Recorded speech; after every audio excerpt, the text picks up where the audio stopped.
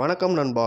இது வரைக்கும் நம்ம சேனலை சப்ஸ்கிரைப் பண்ணலன்னா சப்ஸ்கிரைப் பண்ணுங்கள் அப்படியே பக்கத்தில் இருக்க பெல் ஐக்கானையும் கிளிக் பண்ணுங்கள் வாங்க வீடியோக்குள்ளே போகலாம் இன்றைக்கி நம்ம வீடியோவில் என்ன பார்க்க போகிறோன்னா ஆஸ்ட்ராய்ட்ஸ் அது ஆஸ்ட்ராய்ட்ஸ்னால் என்னன்னு கேட்டோம்னா அது ஒரு சிறு கோள் அப்படின்னு சொல்கிறாங்க அது வந்து நம்ம பூமி மேலே பட்டுச்சுன்னா நம்மளுக்கு ஒரு மிகப்பெரிய ஆபத்து அப்படின்னு சொல்லிக்கிட்டு இருக்காங்க இப்போ. அதை பற்றி தான் இந்த வீடியோவில் பார்க்குவோம் இப்போ தொடர்ந்து வீடியோவை ஸ்கிப் பண்ணாமல் பாருங்கள் முதல்ல அந்த எரிக்கலானது எப்போ நம்ம பூமி மேலே வந்து உழுவும் அப்படிங்கிறத பார்ப்போம். அது வந்து நாசாவின்படி பார்த்தோம்னா அஞ்சு ஐம்பத்தாறு மணிக்கு பூமிக்கு பக்கத்தில் இருக்குமா? அடுத்து அந்த சிறுகோள் வந்து நம்ம பூமிக்கு அருகில் வரப்போ நம்ம கவலைப்படணுமா அப்படிங்கிறது பார்த்தோம்னா நாசாவில் அதை ரிசர்ச் பண்ணி பார்க்குறப்ப அது ஒரு பயங்கரமான ஒரு அபாயமான பொருள் அப்படின்னு சொல்லிக்கிட்டு இருக்காங்க. இது வரைக்கும் நிறைய பேர் பாதிக்கப்படுறாங்க அப்படின்னு சொல்கிறாங்க அது மட்டுமா சொல்கிறாங்க இது பூமியில் மேல் பரப்பு அப்படின்னு சொல்லுவாங்க இல்லையா? அதை கடந்து சீரான இடைவேளையில் தான் இருக்குமா?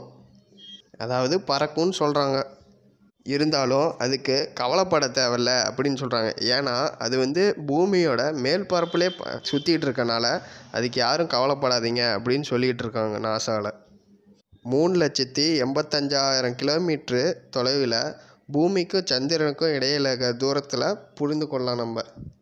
மூணு லட்சத்தி எண்பத்தஞ்சாயிரம் கிலோமீட்ரு தொலைவில் பூமிக்கும் சந்திரனுக்கும் இடையில இருக்கிற தூரத்தில் புரிந்து கொள்ளலாம் நம்ம. சிறுகோளை பற்றி பார்த்தோம். அதோட வேகத்தை என்னன்னு நம்ம இப்போ பார்ப்போம். அது மணிக்கு பத்தொம்போதாயிரம் கிலோமீட்ரு வேகத்தில் பரவுமா? அவ்வளோ ஸ்பீடுக்கு போகுமா?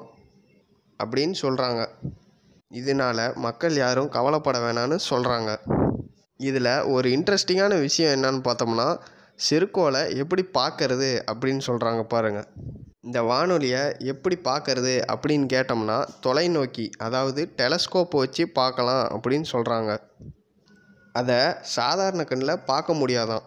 அதனால தான் டெலஸ்கோப் வச்சு பார்க்கணும் அப்படின்னு சொல்கிறாங்க ஆயிரத்தி தொள்ளாயிரத்தி தொண்ணூற்றி எட்டில் நாசா வந்து இந்த இதை பற்றி அறிஞ்சிக்கிட்டாங்களாம்.